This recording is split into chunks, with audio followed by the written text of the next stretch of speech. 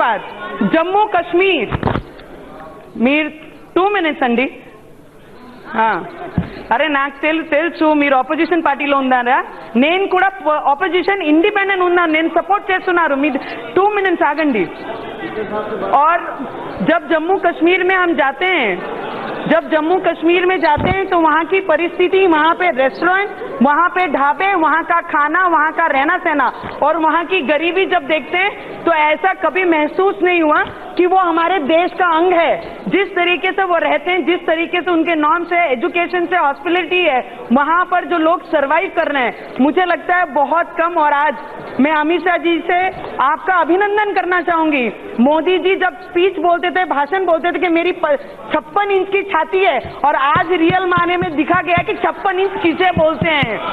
पहले सेशन में चाहिए कि राज्य सरकार ने उनसे सीधी खरीदी करनी चाहिए, ना कि बिचौलियों को बीच में रखना चाहिए। आज बिचौलियों की परिस्थिति देखिए, बिचौलियों के घर देखिए, उनके बच्चों की एजुकेशन देखिए, उनके पास गाड़ियाँ देखिए और किसानों के पास। रहने को आज भी मिट्टी का घर ही है, उसके अलावा कुछ नहीं है।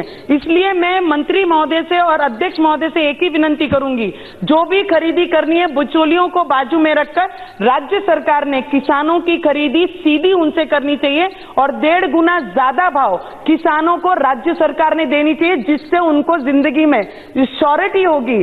कुछ ना कुछ उन्हें श्योरिटी लेकर अपनी ज़िंदगी में आगे बढ़ेंगे। आज किसी बच्चों को, किसानों के बच्चों को अगर शादी के लिए किसी लड़कों को पूछते हैं तो किसानों के बच्चों से शादी करने के लिए कोई लड़की तैयार नहीं होती कि किसान का बच्चा इनके घर में खाने को भी नहीं मिलेगा। ये परिस्थिति आज हमारे देश में बिजनेसमैन हो या एजुकेशन फ़ील्ड से कोई बिलोंग करता हो। शादी करना पसंद करते हैं। किसान पे इतना बड़ा गंभीर आरोप मत। हम जब ग्राउंड पे काम करते हैं जब बेस में काम करते हैं जब ग्रामीण में घूमते हैं तो उनकी परिस्थिति जो हिसाब से है वो मुझे पूछिए हम मैं तक आपके पहुँचते हैं। बता रहा हूँ नहीं तो लोग कहेंगे किसानों के बारे में ऐसा बोला।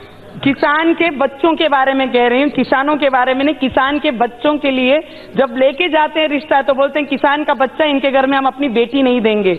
ये हालत हमारे यहाँ थी आज सूखे के लिए किसी ने बहुत अच्छा हमारे ज़िले के लिए कहा है। जमीन जल चुकी है आसमान बाकी है if you like this video ಬೇಗ ಲೈಕ್ ಮಾಡಿ ಕಾಮೆಂಟ್ ಮಾಡಿ ಶೇರ್ ಮಾಡಿ ಹಾಗೂ ಯೋಯೋ ಟಿವಿ ಕನ್ನಡವನ್ನು ಸಬ್ಸ್ಕ್ರೈಬ್ ಮಾಡಿ